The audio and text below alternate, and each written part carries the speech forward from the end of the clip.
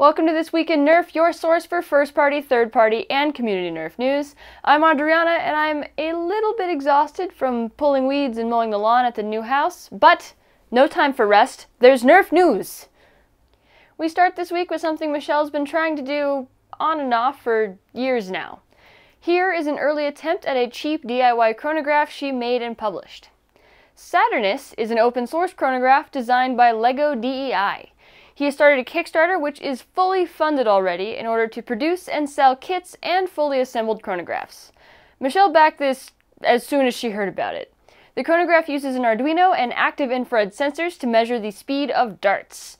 It's extremely portable and the open design will allow for any type of ammo to be measured. However, according to the creator, it will not work well outdoors, which, while unfortunate, is a small price to pay for such great functionality at a low cost. For just $35, you can get a fully assembled unit, or for 25, you can get a starter kit to solder yourself. Those are Kickstarter prices, and there's no word on if prices will go up. Hopefully, such a cheap and available chronograph will finally kill off pain tests once and for all. One can dream. This should also make it way easier for modders to self-regulate their blasters before an event and avoid a dreaded shooting too high incident. Nothing is worse than spending hours tuning a blaster only to have to use a loaner because it hits too hard. That's very sad. Check out the Kickstarter linked below if you're interested.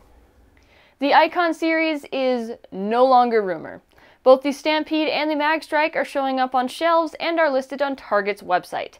The Stampede comes with two 18 round clips and a shield. However, there is no bipod or third clip like the original, which is kind of sad considering the $80 price tag. Ouch. Pictures of the blaster still show it saying ECS 50 on the side, even though it only comes with the magazines for 36 rounds. It's honestly a shame that Hasbro didn't include the 50 round drum with this blaster, as that's what it was supposed to come with since day one. The Magstrike looks to be a direct re-release of some of the later models of Magstrikes that were on the shelves before they were discontinued. Buyer beware on these though. Gavin Fuzzy got his hands on one in Singapore, and it's faulty. It only fires one or two darts and is incapable of firing the entire clip without pumping up the air tank again. So if you buy one of these, be sure to test it in the parking lot before you leave, so you don't have to drive all the way back to the store to do an exchange. It will be interesting to see what else Hasbro does with this line. We do know the Element EX6 will be returning to shelves thanks to this box picture from Redditor Piggy JJ. But why the Element EX6? Does anyone even like that one? No. Didn't think so. Let's say you just got a 3D printer. What do you do first? There are so many community made parts and blasters and remixes. How are you supposed to choose? Do you start out with the Caliburn because you know the instructions are so easy to follow? Do you try something with lots of electronics and code required like the FDL? Do you try that one you saw on Reddit but you can't remember the name of it so you just scroll back far enough and hope you'll see it again? This library will make your choice way harder. There are so many community-made blasters, it's just insane. But having access to all the files in one place is amazing. Thank you to Hawkeye007 for compiling this list, to the editors for keeping it updated, and especially the creators for giving it so much content. If you made something yourself or you notice something is missing from the list, you can request access to edit and help keep this document alive. I think this is a much better solution than we've had in the past where you just post to Reddit or Facebook and then it gets lost in the timeline and it's so hard to find the links to the files again. Now when you need to access the files, they're just a click away. Speaking of 3D printed blasters, there's a new one. Redditor Rajar has posted his creation on Reddit. It is heavily influenced by the Spring Thunder, but was created to use existing and way easier to access hardware for Europeans. It takes slightly larger shells, which gives it slightly more options for shells.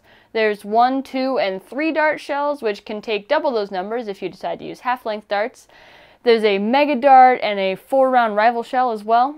There's some other improvements with the blaster relating to the priming bars and some of the mechanisms inside. He is hoping to release the files soon after just a little bit more fine tuning. Oh, and that gator on the front of the blaster is so cute. I want one. We've always said to be very careful with black painted blasters, but this week there was an incident where we learned they may not even be safe in your home. The police were called to a residence in Dayton, Ohio, where they confiscated several black painted Nerf blasters and other black toy weapons. I have no idea what led the police to be called to this house in the first place, but it does go to show that we need to be extra careful if we decide to make our toys look like real weapons, regardless of if we plan to keep them indoors or not. We heard almost a year ago that Lightake was working on a cheaper version of katanas, and it was hinted at that Worker could be making them for Lightake. We figured this is how we got talons. This week, a Lightake rep posted images of the new Worker Terminator with an unknown magazine in the blaster. It looks like it's the same geometry as katanas, but with some minor differences. The slit down the side of the mag is shorter, and there's some edge detail on the corner edges of the mag that are not present on real katanas. We personally don't think Lightake will move forward with the design, since talons are so prevalent and cheap, and there's no reason for a cheaper clone of katanas at this point, since Talon's just better in almost every way. Still, it's really interesting to see these prototypes. The new Dart Zone Pro Blaster is supposed to be revealed next week, but it seems the Dart Zone website is not very secure, and Reddit user Supa Vaporeon was able to browse through all of the images hosted there, including ones that are not yet public. So let's get into what we've learned through these image leaks. First, it's a pump grip retaliator-esque blaster with breakdown capability. It has takedown pins to separate the upper and lower, but it's unclear if that's intended to easily swap parts or just for nicer transport and storage. The priming bars are internal, which I love, and there's a lot of Picatinny real estate up top, and a bunch of features that I'm hopeful for. I am crossing my fingers that a lot of the parts can be swapped out. I would love to be able to change out both grips and the stock to whatever has the most comfort for me because that may be different from what someone else thinks is comfortable. Overall, I'm really pleased with how it looks and almost relieved that they didn't create something entirely new. We know the Retaliator-like platform works really reliably and performs well, so I'm very excited to get one of these in hand. But first, what's the price? We'll likely learn that next week. This week's mod of the week is a homemade blaster from Reddit user Parabellum1262. It's a repeating crossbow made primarily from wood and PVC, and heavily inspired by Van Helsing's crossbow. Nothing on the blaster other than the magazine is from Hasbro, it's all custom made. The performance seems to be about on par with stock Nerf blasters, if not a little better, as you can see in his firing demo from a previous version that he made. I especially like the cheek rest. It looks super nice. The fit and finish this blaster is overall much nicer than what we typically see in homemades. And it's powered like a real crossbow in the sense the string is not elastic. The bow arms flex to store energy when they're primed. Super cool. Monkeytron Collective takes Video of the Week.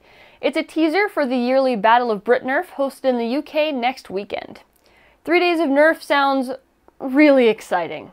It looks like this year it will be hosted in an outdoor airsoft arena, and it's sure to provide an awesome CQB experience. I'm pretty jealous I can't be there for a weekend of camping and Nerf camaraderie, but at least I can live vicariously through the footage I'll get to see in a couple of weeks. I'm hoping to see some more awesome smoke bomb shots too.